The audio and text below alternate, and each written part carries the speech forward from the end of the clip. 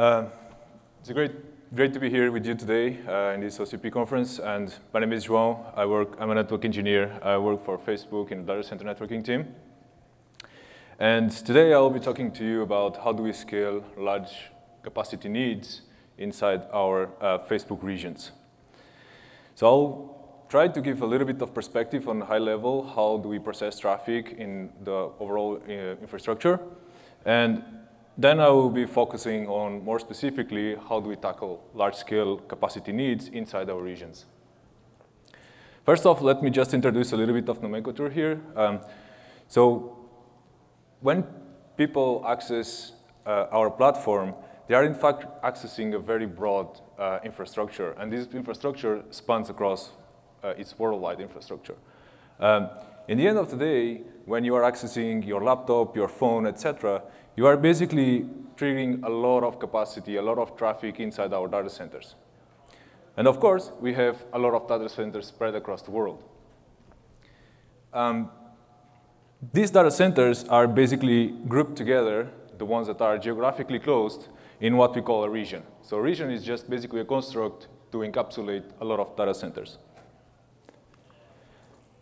Um, of course, these data centers have to talk to each other inside the same region, and also from a different region.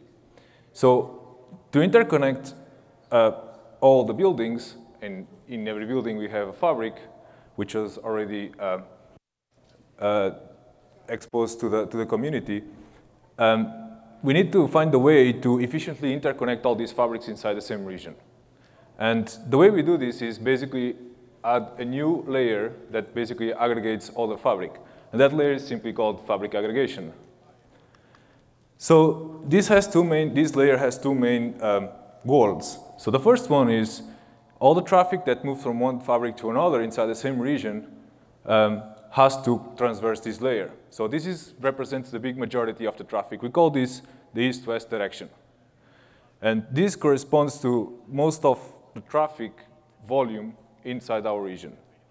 But that's not just that that, that direction. We also have uh, inverse direction, which is what we call north-south. And this type of traffic is all the traffic that leaves our data center fabrics in every single building in that specific region, all the way up to the backbone infrastructure, destined to uh, another region or end user.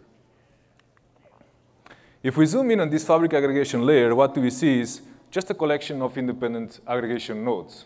Um, different, different regions might have different uh, number of nodes. So if the region demands a lot of traffic in both directions, we just add more nodes. Uh, or if the region is small in terms of buildings, doesn't demand, demand a lot of capacity because probably has less fabrics, then we just compress the number of nodes to be efficient. Of course, these nodes have visibility, every single node has visibility to all the fabrics, so they can steer traffic from one to another. At the same time, every single node has visibility or has connectivity to the backbone infrastructure. Um, this means that basically the fabric aggregation layer process every single packet that either enters and exits our data centers. So it's a very critical uh, tier in our network. And it suffers pressure from two different angles, two different pressure vectors. The one is, of course, uh, the demand per fabric. So every single fabric has its own specific demands. Uh, and that's the existing infrastructure that we already have. However, uh, the way we also scale the, the complete infrastructure is also adding more data centers in region. So as you can imagine, this every single aggregation node needs to have uh, visibility to all the fabrics and many more fabrics as we keep growing and as our experience in the platform keeps expanding and our user base keep, keeps expanding. So as we add more and more fabrics, every single aggregation node has to provide the radix or the port density that we need to interconnect all these fabrics. At the same time, we need flexibility because not all the regions are the same. So different regions demand different, uh, demand different uh, capacity needs. So the solution for these aggregation nodes has to have these three main uh, drivers. So be able to provide a lot of capacity, huge demands of capacity, in fact, and provide a lot of flexibility so we can adapt this on per region basis. And at the same time, don't be efficient on how the way we operate these, these, these nodes. Um, and probably the fourth point is, of course, provide uh, good levels of resiliency. So if one node goes down, we don't, we don't isolate the region, or if a bunch of nodes go down, we don't degrade too much the capacity of the whole layer. So to address the scaling needs for these independent nodes, there are usually two, two methods to do this. The first method is rely on the industry or the ability to develop very uh, high chassis-based devices to provide more and more port dense per ag node. This turns out to be a little bit complicated, and Nader is going to give a second, second part of this talk. He's going to explain a little bit better uh, and in more detail how, what are the challenges around this. But in fact, we select a completely different strategy. And the strategy is basically disaggregating the small individual components that a chassis has, uh, which is in basically, we can think of line cards or optics and so on.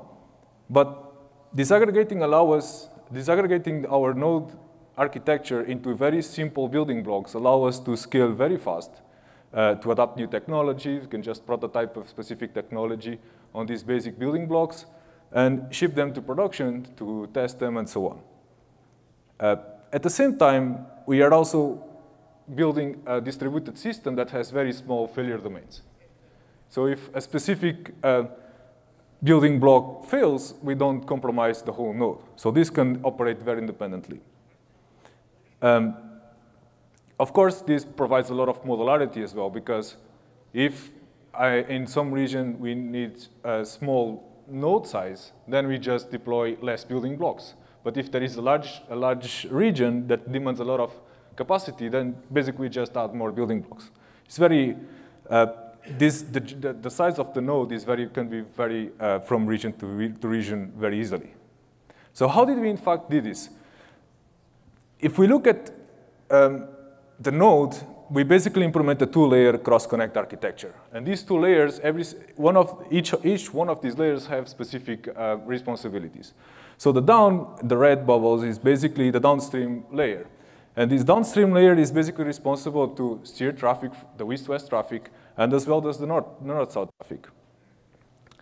Uh, it's important to see that the downstream subswitches the red circles in the picture, um, have full localization. That means that every single node has visibility to all the fabrics. So all the traffic, east-west traffic, stays contained inside this layer. This is an, an, important characteristic. For all the traffic that has to go to another region or to a POP or the end user, the traffic is sent up to the upstream layer. And this upstream layer is just responsible to send the traffic to the backbone infrastructure. These two layers can which I'm representing here with M and N, can have different sizes inside the node, and as well as different size between regions, nodes implemented in between different regions. So it's very, very scalable, but at the same time very flexible in terms of the capacity units that to the data center. Um, and inside this, this logical node, we basically use uh, our uh, BGP implementation from FBOSS. And all the switches also run uh, FBOSS. Once we, then, once we identify the initial setup for uh, these individual ag nodes, the sizing, how many switches do we use on the downstream layer, how many switches do we use on the upstream layer, then we can ship this to the data center ground, uh, to the data center floor, and just basically uh, replicate these, these units, these logical nodes, multiple times. How many times? It depends, again, on the region needs. Uh, if there is a, re a, region that needs a lot of capacity, we just ship more and more uh, these nodes um, to interconnect more and more fabrics. Uh, usually we tend to have the same node size or node geometry uh, inside the same region, so it can become consistent. So I have here some examples of if you vary M and N values, the sizing of these two layers, and if we add more and more uh, different numbers of nodes per region, it heals different units of capacity. It really depends on your needs. Uh, if it happens to be that in your case, you, need a, you can accept a very high oversubscription ratios between these two layers, uh, you can probably look at these numbers of, for instance, 24 uh, downstream subswitches and 8 upstream subswitches. And if we deploy 16, of, 16 nodes in region, it heals uh, 921.6 tera just for interconnecting fabrics in the region. Uh, this also, as I said before, uh, is, an, uh, is a strategy that allows us to have very small failure domains. So we can operate these nodes either at the subswitch level or at the complete node level. So if an individual subswitch fails, we can have, we have uh, our ability in our tooling to basically take individual wedge uh, or individual subswitches out of service for debugging purposes. And we, at the same time, we can accept multiple failures inside the same node spread across multiple nodes. So it's very flexible from the failure domain point of view. Um, at the same time, our tooling understands the con this concept of node, and at the same time understands the concept of subswitch. So this hierarchy is brought up into our tooling so that the operator doesn't need to, or the tool that, uh, the automated tool that uh, is responsible to, for the mitigation of the failures of the node, doesn't really need to know if it's accessing a subswitch or the complete node. This is completely abstracted from, from the tooling, uh, on the tooling side, uh, the way we operate this, this uh, either at the subswitch level or in the node level. Uh, and this is just a strategy for an architecture strategy to implement large-scale nodes or units of capacity in the data center. It doesn't really need to be on the, on the aggregation tiers. It can be reusable pretty much everywhere on our infrastructure. And with that, I will hand over to Nader.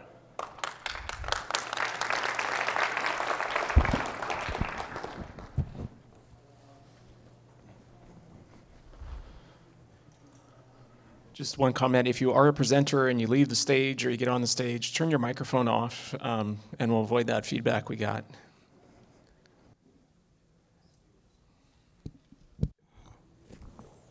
All right. Hi, everyone. My name is Nader, and I'll talk about the hardware side of the Fabric Aggregator project here. So let me look at my slides here. So I'll start with the problem statement, and I'll give some context around that, then I'll uh, describe the approach and the philosophy we took to the design of this thing, it's a large radix switch. And I'll zoom into the cable assembly, which was actually the heart of this uh, project. So let's start from the basic. What is the unit of bandwidth? If you think about it, the unit of bandwidth in a data center network is what uh, we replicate to meet the overall demand of the tier. And this is very you know, applicable to every tier of the network when you think about it. So um, in our case, in the fabric aggregator, that's what Joao mentioned as the ag node in terms of the getting the terminology. So what is a rack? A rack is a container that has space, cooling, and power limits. So if you notice, the unit of bandwidth is a, very, is a logical construct, and a rack is a very physical construct. So the problem arises when you want to map that unit of bandwidth into a rack. It's a logical thing and a physical thing. So what happens on the one end of the spectrum is that the unit of bandwidth, the ideal one, the optimal one, may not utilize the rack properly. And the other end of it is that it may actually not fit in one rack at all. So how do we build the ag node, the unit of bandwidth? So let's think about what we need. We needed flexibility. Like Joao mentioned, we needed very flexible east-west and north-south bandwidth ratios. We needed scalability. As the demand of the tier grows and we go to the next technology node, we would have to be able to scale this architecture, same kind of architecture up. And we need iterability. We want it to be quick turnaround. We didn't want to wait for a long time to build this thing. So where does rack fit in this picture? Definitely not as a design constraint. We didn't want the rack to be a limit. We wanted the rack at most to be a design parameter, something that we can optimize for. We say, well, if it fits in one rack, we save this and this and that, but it doesn't have to really. So our approach, how did we do it? So broad strokes, what we did is that we kind of agreed on the DC facing and the backbone facing um, bandwidth ratios. For example, uh, this, let's say this landed on 24 downstream units and eight upstream units. We were lucky this one fitted in one rack.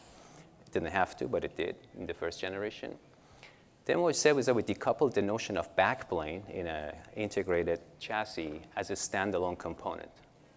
And we ended up with two building blocks. One were the switches, the DU and UU switches that Joe showed, and one was the topology, which is the, uh, that, that, the wires that interconnected DU and UU layers together. And that's like historically done by the backplane.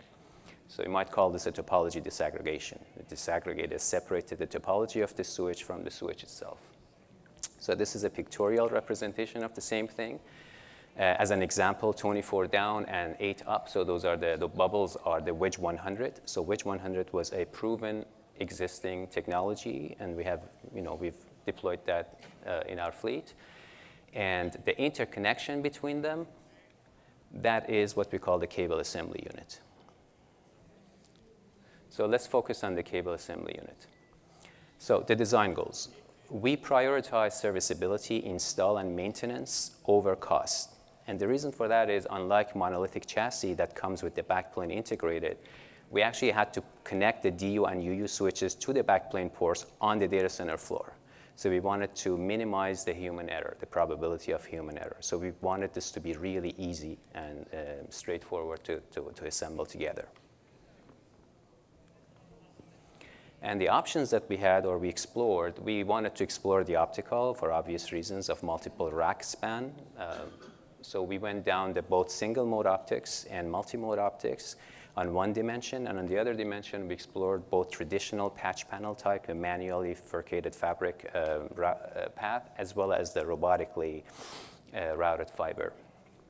And we also built one with DAC, with the fully electrical version. So let's focus on these different flavors a little bit. I'm going to dwell on this one to basically point out some basic recurring themes in here.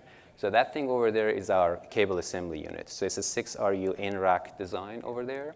And if you, um, if you notice that top switch at the bottom, so that is a UU switch because it has 24, a lot of backplane facing ports, so you can tell that's a UU unit.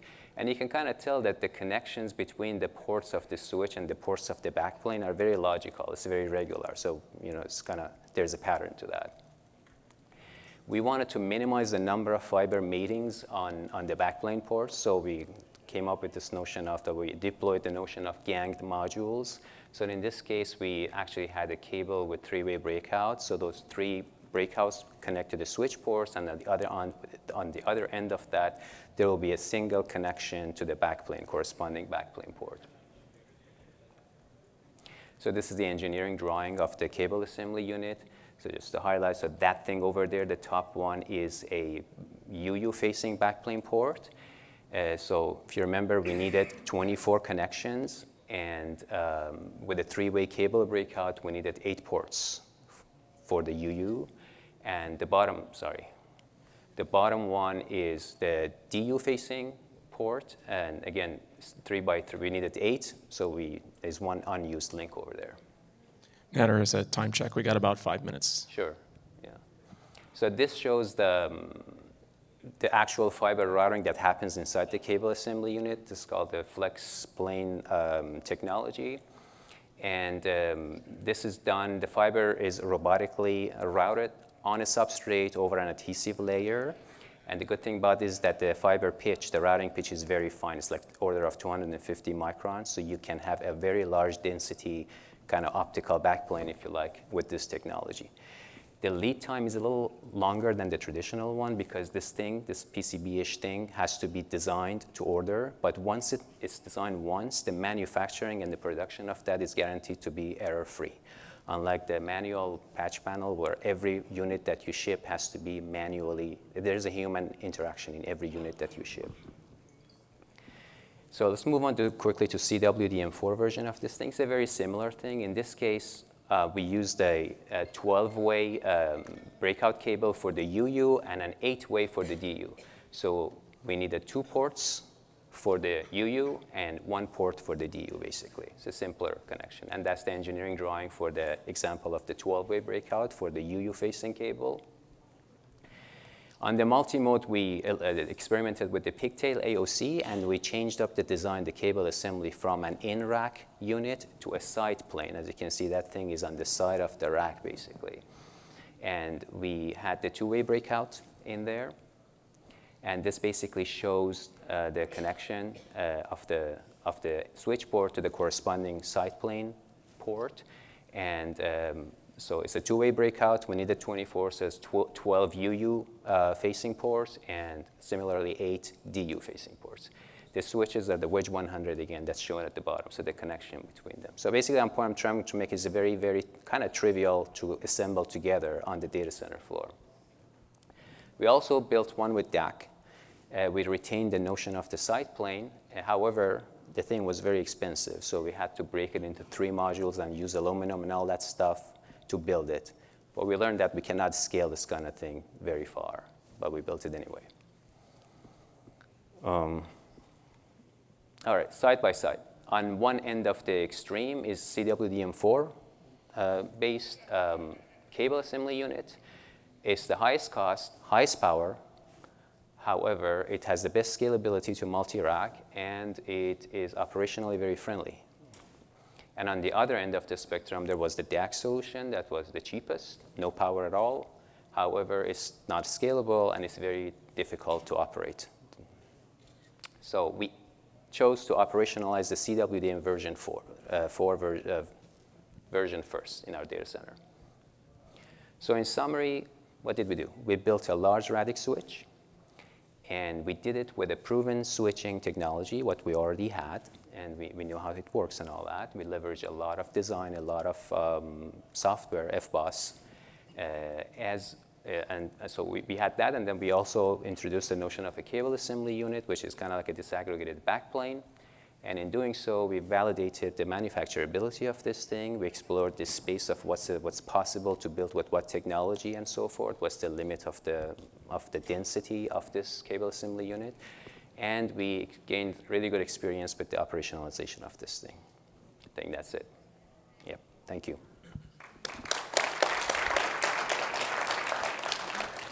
They've left just enough time for one or two questions. You can use the mic over here or raise your hand, I'll bring you a mic. Let's start it off here. Hello.